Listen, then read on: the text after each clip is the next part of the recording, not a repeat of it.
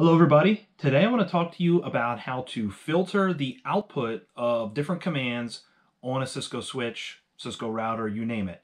Uh, any IOS or IOS XE device, this is going to be fairly standard for. There's a number of different things that you can do to filter the output uh, of a show command or of a, you know, look at the configuration.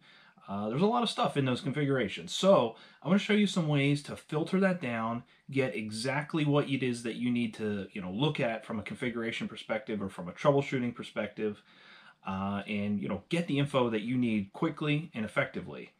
So with that being said, we're going to dive into the command line. We're going to look at this firsthand. And um, yeah, I'm hoping this is going to be helpful to someone. So anyway, hit that subscribe button if you have a switch or router that you want to kind of follow along with, by all means. But with that being said, let's dive into it. All right, so to start uh, filtering command output, obviously we need to be connected to a Cisco IOS device, a router or a switch. I happen to be connected to a 3650 switch here. I do find that SSH is a little bit faster than the console port for uh, whatever it's worth, but uh, either way is just fine. So to get started, I want to talk about a couple different options to filter output. Uh, first uh, is probably the easiest to get started with, and that is the options that are baked into commands that are already part of the unit, right? So uh, if you want to do a show run command, for instance, you can actually use the question mark and actually filter down that show run output with some additional options that are built right into the show run command. Right, so show running config, as you'll see here, uh, I'm scrolling through it rather quickly. There is a lot to it on this device, and uh, this is even just a lab device, right? It's not a production device where it may have a lot of static routes, it may have a lot of policy maps, uh, you name it. There's a lot of different things that could be in the config that make it overwhelming to uh, to look through. So anyway, show running config and we could actually hone in on uh, probably my favorite to, or most common that I use is the interface. So show running config interface, and we can just call out specific interfaces. The uh, tab-based uh, context sensitive help is available, so you can tab it, tab the uh, the commands out. So let's look at gig interface 1040, uh, and there you go. It shows the running config, just that section of the running config.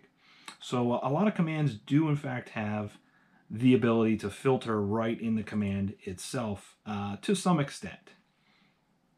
Now, if you would like to go deeper or you want to you know, filter the command uh, or filter output in a way that maybe is not supported, so there's just a limited subset of options in the show running config you know, menu of options, uh, we can do that. We can have uh, other options to do that. So let's take a look at a few of them now. Um, by the way, this works on show output of any, right, show IP interface, show interface, uh, even when you look at log files, right, show logs, you can filter uh, on those as well, the same way that I'm about to filter on the running config. So let's do show run, and let's, uh, let's pipe to some other filtering options that we have here. Now, there are uh, a couple that I'm going to call out. We're not going to use all of these, uh, but there is probably my favorite, the section command. We'll look at that first. There's the include and exclude command, and there is the begin command. So uh, we'll take a, try and take a look at all these real quick. Uh, the section command is a section, right? A section of, of the configuration. So in that example above where we looked at the interface, that uh, is essentially a section, right? We can get that same output by uh, doing a section uh, search as well. And what it does is the beginning of the section is the uh, unindented text, if you will. Uh, it, the section is everything indented below it for lack of um, you know lack of different way of, of saying it. So uh, you don't have to type this entire piece of uh, of text to to find it. All you have to do is find a unique piece for that section. So I'll look for one slash zero slash forty, and I can get that same output straight away. Uh, and uh, yeah, I'm able to view that physical ports configuration using the section command. Uh, likewise, you could use this on something that's maybe uh, not as common, right? So I could look for the router EIGRP configuration, and uh, you do need the section command after the pipe, of course. You'll see here I have actually two router commands or two router router processes that come back. Uh, if I wanted to prune that back even more specifically, I just say router EIGRP 100 and you'll see just section 100 is returned. This does use regular expression matching, so it can take a literal string, right, router space EIGRP, uh, or you could, um, you know, use a regular expression. So anywhere that there is a EIGRP in some number, right, I could search on that using regular expressions, uh, and I don't have to know the process number specifically. Um, comment below if you have more questions on that. Maybe I'll do something separate on regular expressions. Uh, either way, we have the way we have the option to filter this down and you know get to a section of configuration that otherwise is halfway down the page in the running config. The next thing I want to show you is the uh, other pipe 2 commands. So pipe 2 uh, include and exclude. Uh, and include uh, running against the running configuration. This might be good for a single line um, you know, type of type of global config. So maybe an IP route statement. IP route. We can search for that. Uh, and you can see here some static routes that I have configured. I do want to point out some limitations though, and that is anywhere that it sees the word IP route, it will match and it will return that information. Uh, so a lot of times you're just trying to get uh, to some config uh, pretty specifically. Great way to, to do it. Now another way that you could use this include command is uh, show log, right? And you see the logging information, and its logs are, are quite uh, quite cumbersome sometimes. So say I wanted to just see, I don't know, anytime that an interface went down, and we see ups, downs, other type of indications, right? So I can do show logging, and I can filter that out. I can prune down what it is that I'm seeing and just just get to the things that I truly care about, right? So I'll look for uh, include down. Uh, from there, the, again, the events are just the events that I truly care about and want to, uh, you know, use to troubleshoot.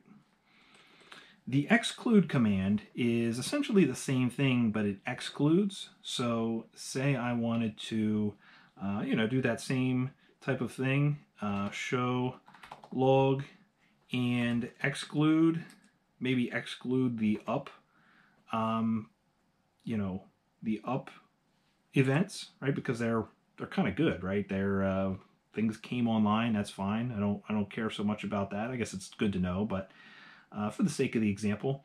So now I have down events, I have uh, QoS trust events, I have whatever else is happening on the switch. Uh, I'm just excluding that that up event. Now you need to be careful because up could be a fragment of a word that is, um, you know, means something else. So I don't know, for instance, the word startup as an example. So again, know your uh, know your device. Filter a couple different times to make sure you're getting the information. But again, these will make it much more, uh, you know, feasible to to dive in and, and get that get that information pruned down. Uh, another quick example of the regular expression capabilities would be, uh, let's see, show IP interface brief. Uh, you can see all of the interfaces on the device, both VLAN interfaces, loopback interfaces, uh, physical interfaces, you name it. Uh, and I want to I want to see just the ones that have IP addresses assigned. So uh, the best way to do this, show IP interface brief, include, and uh, maybe I want to do, uh, you know, any any numbers, right, zero through nine, uh, with a different number of occurrences, either one, two, or three occurrences of that number. I could then escape the dot uh, and get that first part of the IP address. Really, it would be matching any part that is followed by a, a dot. Uh, but that's unique enough that I can then search for IP addresses rather than, you know, match on the digits of the interface or something of that sort. Uh, likewise, the exclude command, you could uh, exclude these as well, right? All interfaces that don't have an IP address. Last but not least, I'm going to show you the begin command, and we go back to show run for this, uh, and you see begin, begin with a line that matches, right? Fill in the blank. Begin, and maybe we want to start at, uh, you know, we want to look at all of our physical switch port interfaces. So we can begin at 101, search for that. Actually, you don't have a space on the end there. We can search for that. We'll start, uh, we'll start there, right? Gigabit Ethernet 1 slash 0 slash 1. Now this will show the rest of the configuration, everything from this point on. So we can scroll down through, you can see I have, you know, some garbage assigned to different interfaces, but it gives you the option to start at one point and again, scroll down through. So uh, another example might be uh, if you have multiple routing protocols configured on a device, start with the word uh, router and uh, you'll be at the top of that section of configuration. Anyway, I hope this has been helpful. I hope it gives you some ideas on what you can do to further filter down the output from the CLI. The CLI can be intimidating, so the ability to filter down, dive right into the information that you need can be helpful, quite honestly. So uh, anyway, if you have other questions, comments, uh, even your own tips and tricks that you may have developed over the years, leave them in the comment section. Uh, if you found this at least the least bit helpful, give me a thumbs up. Come on. And uh, thanks for watching. Hit that subscribe button if you're new here. And uh, I hope to see you again sometime soon. Thanks for watching.